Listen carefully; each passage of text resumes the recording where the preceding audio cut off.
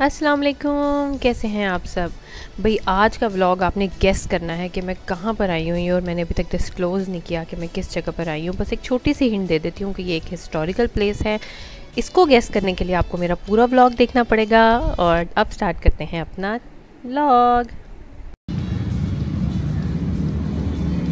तो आज हम आए हैं कायद हाउस म्यूज़ियम बड़े अरसे से पेंडिंग था।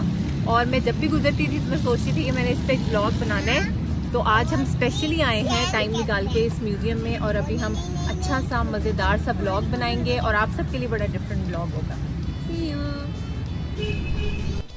आप में से बहुत सारे लोग इंक्लूडिंग मी ये नहीं जानते होंगे कि कायद अज़म का पहला घर ये था जो उन्होंने परचेज़ किया था और वो यहाँ पर रहते थे। ज़्यारत वाला घर जो है वो इस घर की शक्ल पे तामीर किया गया था। और जब कायद अज़म ने घर परचेज़ किया था तो वो ज़्यादा वक्त यहाँ पर गुजारते थे, लेकिन अपनी ज़िंदगी का आखिरी टाइम उन्होंने ज़्यारत में गुजारा। अब आप में से बहुत सारे लोग, चूँकि ये बात नहीं जानते, कराची में रहने वाले बहुत सारे लोगों को भी ये नहीं पता कि कायद अज़म की असल रेजिडेंस जो है वो कराची में है। जिस जिसको नहीं पता था, वो मुझे कमेंट में ज़रूर बताया कि किसकी मालूम में इजाफ़ा हुआ है।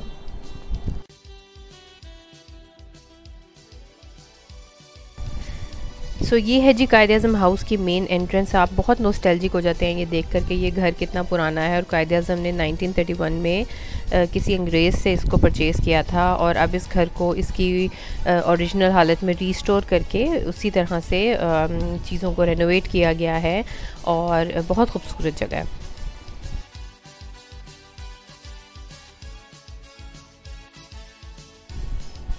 जैसे ही मेन एंट्रेंस से आप अंदर दाखिल होते हैं तो एक बाग आता है और उसके चारों तरफ़ डिफरेंट इमारतें हैं डिफरेंट बिल्डिंग्स हैं, जिसमें से कुछ ऑफ़िस बन चुके हैं म्यूज़ियम है लाइब्रेरी है और रेजिडेंशियल एरिया है।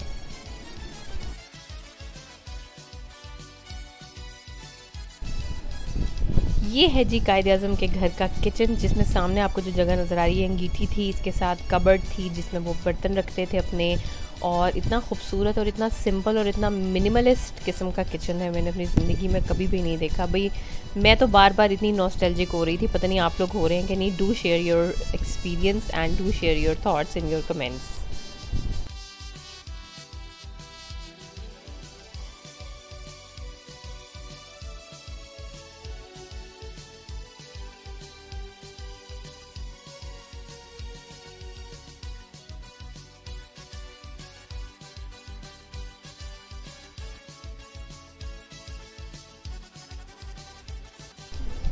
और ये है जी कायद अज़म के घर में उनका ऑफ़िस और साथ छोटा सा एक लाउंज एरिया है जिसमें डिफरेंट फर्नीचर पड़ा हुआ है और इसको ऐसे ही रिस्टोर किया गया है।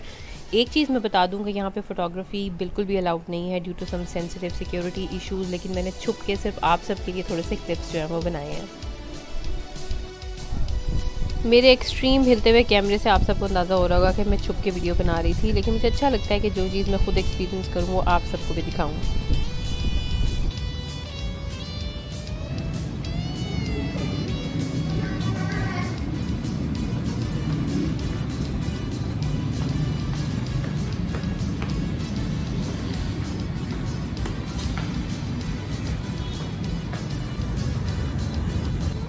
अब हम जा रहे हैं उन गाड़ियों के पास जो कायद अजम की यूजेज में रही थी। वो सामने वहाँ पे उनको उनको प्रिजर्व किया गया है रिस्टोर बल्कि किया गया है। Yes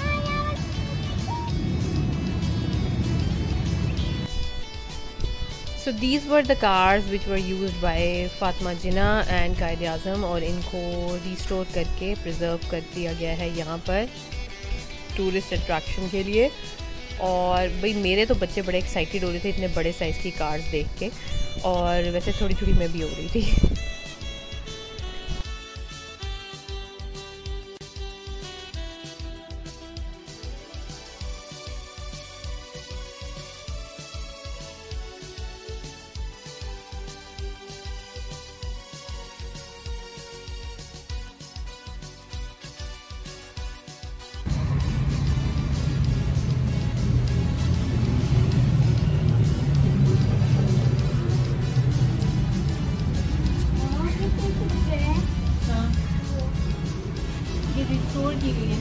मतलब जब इसको लिया था तो ये ऐसी हालत है। फिर इसको रिस्टोर किया इसकी मेंटेनेंस की। मेंटेनेंस करने के बाद अब ये कंडीशन है। सो so, ये मेन जो लॉन है कायद अजम हाउस का ये उसको आप देख रहे हैं बड़ा खूबसूरत फाउंटेन भी है और मेरे पीछे मेन बिल्डिंग आपको नज़र आ रही है जो मैंने अभी आपको अंदर से भी सारी की सारी बिल्डिंग जो है वो दिखाई है।